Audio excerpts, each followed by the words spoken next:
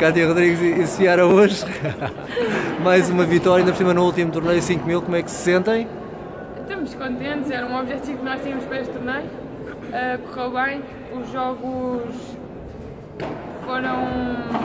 Nós tivemos quatro jogos do grupo que correram como previsto, depois afinal também estávamos a pensar ganhar. Uh, entramos com uma tática, seguimos até ao fim, agora. 6-2, 6-2, Kátia?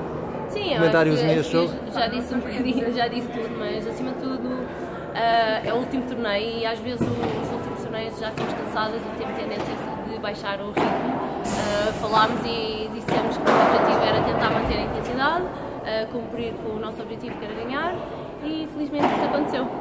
Olha, Sofia, uh, também acabou a época internacional.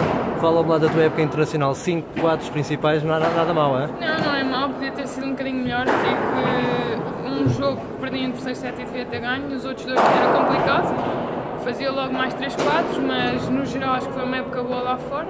Vamos ver como é que corre. E Kátia, para o próximo ano, como é que é? Vamos, Vai vamos, vais também jogar lá fora? Vai... A Sofia está-me a desafiar. Agora, é novidade. Não sei, uh, cá dentro vou jogar sim, uh, lá fora é sempre muito complicado para mim por causa do trabalho, como trabalho aqui na Raga Pro e acabo por ter um papel que me, não me permite jogar lá fora, é sempre mais complicado, mas a ideia é, é jogar uh, mais uma temporada e, e pronto, pode se ver. Olha, muito, muitos parabéns, não vos, vou, não vos vou chatear mais porque está um frio diabólico, tá está um tá frio diabólico, portanto muitos parabéns. Obrigada até à próxima, até à próxima. Obrigada.